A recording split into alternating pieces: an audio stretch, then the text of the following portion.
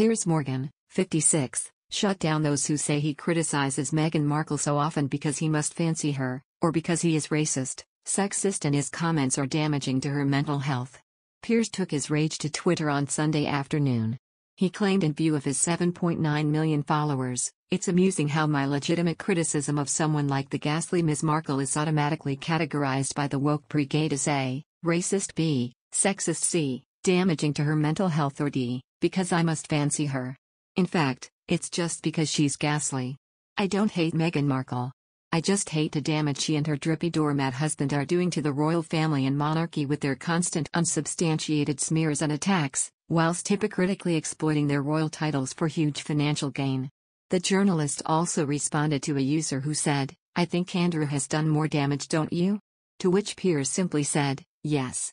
As is often the case, Piers' tweets divided users, with some echoing his sentiment while others jumped to the Duchess' defense. Ziaa said, Indeed she is. Florida echoed, Well put Piers, I'm sure loads more carry the same opinion. Whereas Edward hit back, What you never acknowledge is the criticism is value but the obsession, ever since she ghosted you, is what's creepy. And Andy raged, You're pretty ghastly at Piers Morgan but I don't keep on about it, actually, I do, but I don't have the audience you have. Less is sometimes more, still keeps you in the public eye, eh? Piers' rant came after author Caitlin Moran reposted Sinead O'Connor's rejection email to the presenter about appearing on his new talk show, Uncensored. The More Than a Woman writer shared a screenshot of the email and said, Pretty sure there are dozens of celebrities who would line up to do this one at the next Letters Live. Sinead revealed Piers invited her onto his show following the tragic death of her son, Shane. The singer tweeted on Saturday, Piers Morgan's been trying to get me on his breakfast show since Shaney died. Here's what I emailed him in response hopefully you'll chortle your tea out your nose. The email read Hi Piers, I think it's best I don't do your show because of the irresistible temptation I would have to point out that you're dying to be BS deep in Meghan Markle so bad it's driven you crazy. And that your dislike of Prince Harry is down to his being BS deep in her 10 times a day. It being the case that if you were ever to get near her, which would never happen, you'd last 10 seconds, and that would be that for 10 days.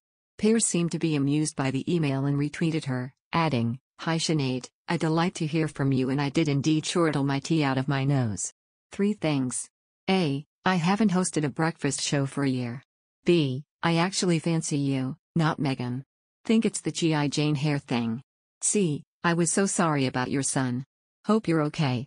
Another news Foo Fighters drummer Taylor Hawkins, who died on Friday at the age of 50, once had a bizarre encounter with Prince Harry when they met backstage in 2015. Speaking on The Howard Stern Show in February last year, Hawkins said the 37 year old royal had slapped him across the face after he complained he was feeling tired before a concert. The late musician said the slap had been playful but still pissed me off, actually. He walked in and goes, How are you doing? I said, I can't wake up.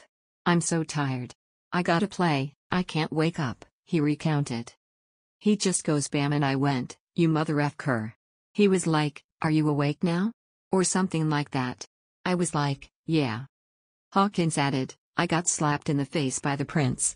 That's okay really, if you think about it. But in the moment, I was like, you F King slapped me, dude.